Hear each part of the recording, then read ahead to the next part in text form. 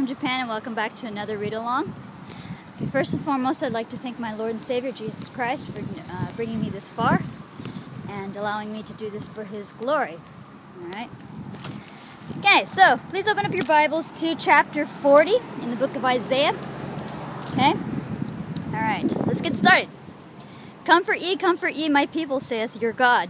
Speak ye comfortably, comfortably to Jerusalem and cry unto her that her warfare is accomplished, that her iniquity is pardoned. For she has received the Lord's hand double for all of her sins. So, you know, the Lord has just punished um, Israel for their sins, okay? The voice of him that, are, that cries in the, wilderness, Prepare ye the way of the Lord. This is John the Baptist prophesied beforehand, okay? The voice of him that cries in the wilderness, Prepare ye the way of the Lord. Make straight in the desert a highway for our God. Hi! Bye! That's my students over there across the street. I don't know if you can see them, I don't know. So they're over there. bunch of students over there. I don't know if you saw that or not, because my uh, camera is backwards, so I could do this. But anyway, um, all right. Okay, very verse four. Every valley shall be exalted, every mountain and hill shall be made low, and the crooked shall be made straight, and the rough places plain. Okay, and the glory of the Lord shall be revealed. Glory of the Messiah here. And all flesh, flesh shall see it together, for the word of the for the mouth of the Lord has spoken it. The voice said, Cry. And he said, What shall I cry? All flesh is grass, and all the goodliness thereof is of is as of as of a flower of the field. The grass wherewith the flower fadeth, because the spirit of the Lord bloweth upon it. Surely the Lord surely the people is grass. The grass withereth. Our lives we are like grass, we fade, you know, we, we do not live forever. So we need to keep that in mind when we live each day. Alright, so um, all right, so the, the, grass withereth and the flower fadeth, and the, but the word of the but the word of our God shall stand forever. Okay, that's verse eight. O Zion that brings good tidings, get thee up unto the high mountain. O Jerusalem that brings good tidings, lift up thy voice with strength. Lift it up, be not afraid. Say unto the cities of Judah, Behold your God. Behold, the Lord God will come with a strong hand. His arm shall rule for him. Behold, his reward is with him, and his work before him. Okay, I'm going to turn to the page now. Alright. See me walking and multitasking. Oh, my Bible is falling apart. Can you see that? It's about ready to rip off there. yeah, you can tell how much I read this. I do. I read my Bible every day, and I have several Bibles. This one is one of my favorites. This is my little dagger, I call it. Affectionately call it my dagger. I, uh, my very first uh, Bible that I bought was a King James Version. I have that one at home. It's a big one, my big sword, you know, which is the Word of God, you know. But uh, it was too heavy to lug around all the time, so I also got this little smaller one, the smaller King James Version. I call it my little dagger. But I've also got um, a new King James Version that my father bought me, and I have a Japanese Bible. One I gave away, one Japanese Bible I gave away to a homeless guy. And um, I have several Bibles on my computer, and I have some in my phone. And I have some pocket Bibles here and there of the New Testament. Anyway, so this is one of my favorite. It's falling apart though. Right, I'm going to move on before I run out of time because I only have 15 minutes on this thing. Alright, so verse 11.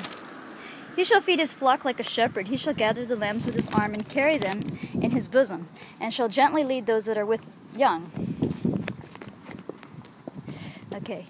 Who hath measured the waters in the hollow of his hand, and meted out heaven with the span, and comprehended the dust of the earth in a measure, and weighed the mountains in scales, and the hills in a balance? So who can do all this but the Lord, you know? He's the one that uh, designed everything.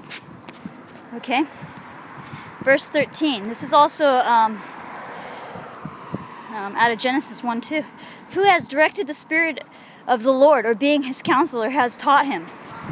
Okay? With whom took he counsel, and who instructed him, and taught him in the path of judgment, and taught him knowledge, and showed to him the ways of understanding. The way of understanding, sorry. Behold, the nations are as a drop of a bucket, and are counted as a small dust, as small dust of, the, of a balance. Behold, he taketh He takes up the isles as a very little thing, and Lebanon is not sufficient to burn, nor the beasts thereof sufficient for a burnt offering. Okay? All nations before him are as nothing, and they are counted to him less than nothing in vanity. To whom then will ye, ye liken God? To whom then will ye liken God? What is God like? Okay, or what likeness will you compare him to? The workman melts a graven image. The workman melts a graven image, and the goldsmith spreads it over with gold and casts silver chains. He that is so impoverished that he has no oblation, choosing a tree that will not rot, he seeks unto him a cunning workman to prepare a graven image that shall not be moved. Have you not known? Have you not heard? Has it not been told to you from the beginning? Have you not understood from the foundations of the earth? It is he that sits upon the circle of the earth, the inhabitants thereof are as grasshoppers, that stretch out the heavens as a curtain, and spreads them out as a tent to dwell in. That brings the princes to nothing. He makes the judges of the earth as vanity. Yea, yea, they shall not be planted. Yea, they shall not be sown. Yea, their stock shall not take root in the earth, and he shall also bow upon them, and they shall wither, and the whirlwind shall take them away as stubble. Okay? To whom then will ye liken me?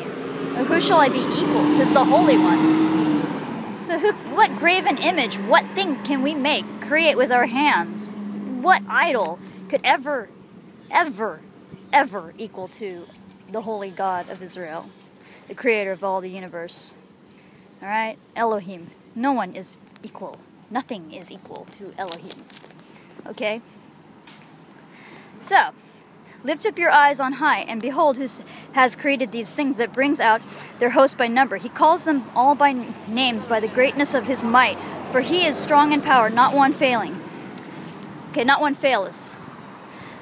Why sayest thou, Jacob, and speaks, O Israel, My way is hid from the Lord, and my judgment is passed over from my God? So, you know, he's asking, why do you think that, you know, what you're doing is not going to be seen by me, says the Lord, you know, to, to Israel and Jacob. It's like, I can see everything. That's what he's saying to them. Hast thou not known? Hast thou not heard that everlast that the everlasting God, the Lord, the creator of the ends of the earth, faints not, neither is weary? There is no searching of his understanding. He gives power to the faint, and to them that have no might he increases strength. Even the youths shall faint and be weary, and the youth and the young men shall utterly fail.